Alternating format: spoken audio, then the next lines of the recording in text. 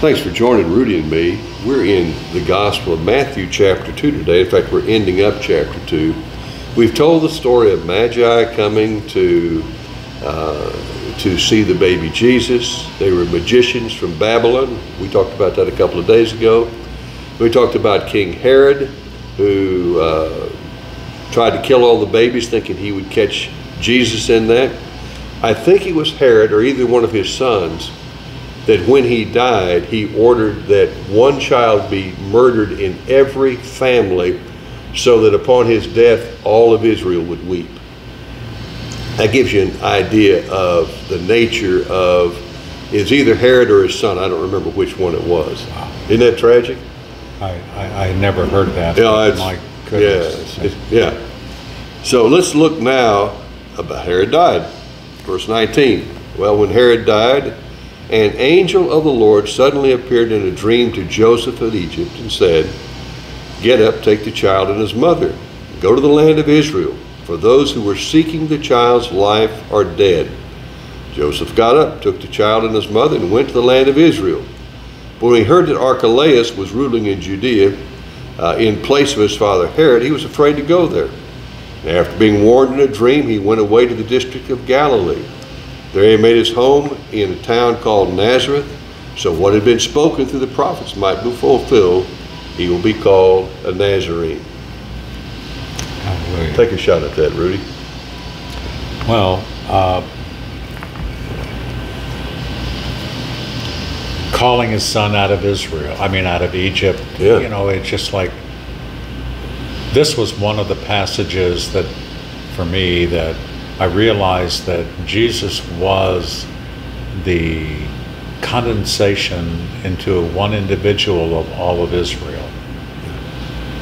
And and all of Israel is an image to the world of the Messiah until we, we, we until we get this vis- vision of God in the flesh Right. 2,000 years ago. Yeah. So his story is much like it's a greater example of how God took them out of Egypt, Yeah. out of slavery. Right.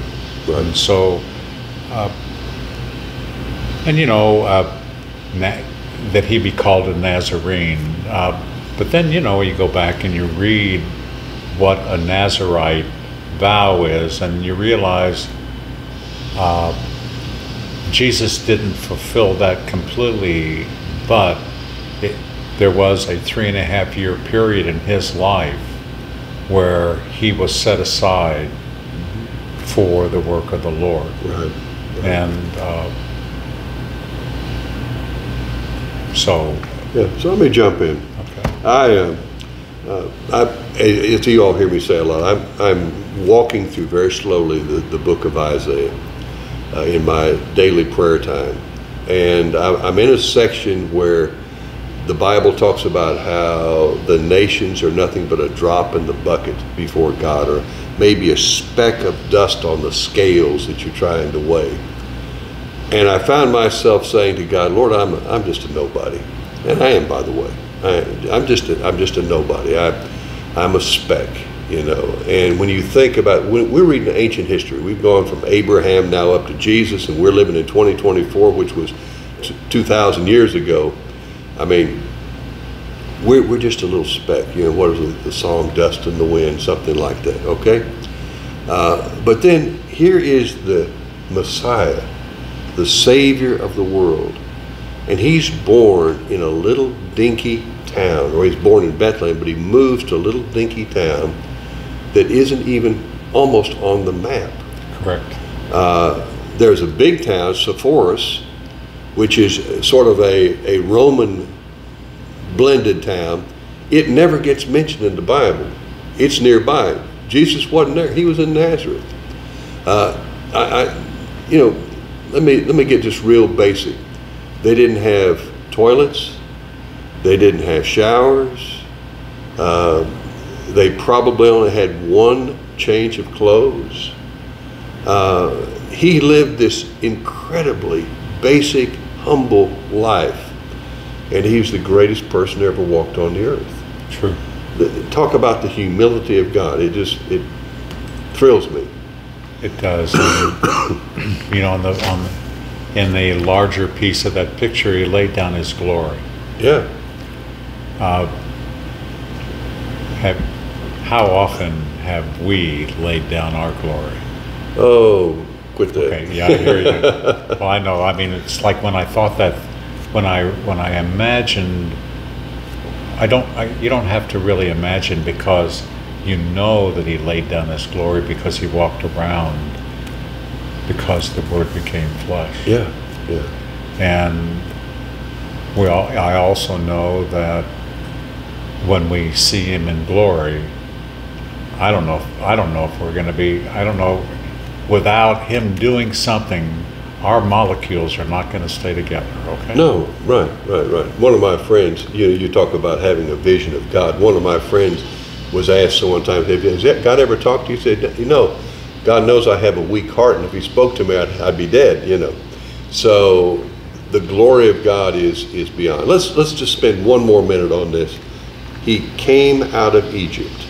Uh, the Hebrew people under Moses came out of Egypt. There's a big picture there. What's the Egypt of your life? Where are you still a slave? God's coming through his son Jesus is on earth to take Rudy, Bob, and people who listen to us and everybody else to take us out of that slavery in Egypt. And we have a promised land he wants to head us to. It will look different for nearly every one of us, but we're cheating ourselves if we don't participate in that. Amen. Yeah. You know, in the in the next chapter, we're we're going to read that you know Jesus now is a will be a full grown man. He'll be Right. baptized, and he ends up with his own forty something, just like the forty years in the desert where Right. Israel was tested. He gets tested too. Uh, Previews of coming attractions. Right, but that's that that's how this this works in tandem. Right. And the things that he got tested by are the same things that we get tested Absolutely true. Why don't you pray for us? Father, uh, it brings a smile to my face, Lord, the way that you have made all of this so synchronized. Uh, for me, Father, I thank you for that because it proves that you are the one that stands above the circle of the earth. Right. Right. Oh Lord, open our minds to see you in Jesus' body. That's right. Amen. Pray that in Jesus' name. Right. Rudy, thank you. Thank you all so much for joining us today. Look forward to seeing you tomorrow. We'll be talking about John the Baptist. Have a great day.